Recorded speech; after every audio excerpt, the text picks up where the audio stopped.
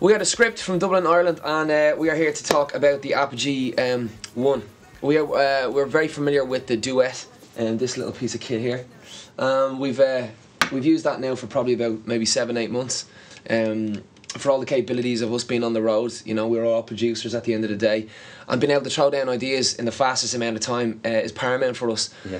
Um, the Duet was it was amazing. You know, we were kind of thinking, well, you know, wouldn't it be great if you're actually able to have a microphone in there, or you know, instead of lumbering around a microphone, jack, the whole shebang.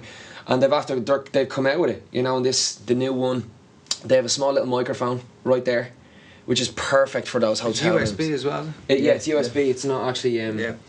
going through um, going through FireWire at all. You know, which is it's fantastic. It's actually half the size of that one. The big thing um, for anyone out there is that you know we know from traveling that carrying microphones around can be dodgy on the microphone. It can be, you know, microphone climate changes mess up your microphones, and plus trying to carry them around is such a pain.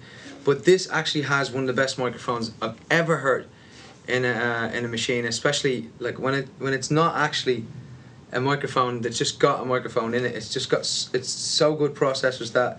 Actually, you recorded a vocal during the night, didn't you? yeah, I did. It sounded amazing. Even Yeah, Bob yeah. Clearmountain himself heard it and actually went. He was like, I'd I mix think I that." could mix that.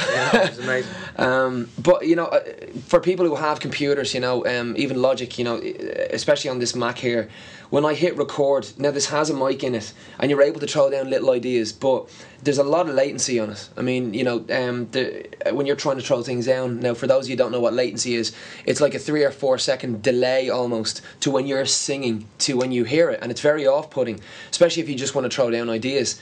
Um, the one has a so- piece of software called the Maestro, which um, it also has all the volumes on it, uh, volume knobs and all the buttons and stuff, but it also has a latency control.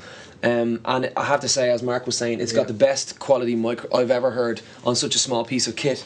And just to show you how cool it is, this is my mobile phone. Look at the size of it. It's the same size as my mobile phone. amazing. So rather than you lumping around a whole load of gear and a whole load of everything, microphones, the whole shebang, to be honest, this is where it is. This is it, the one.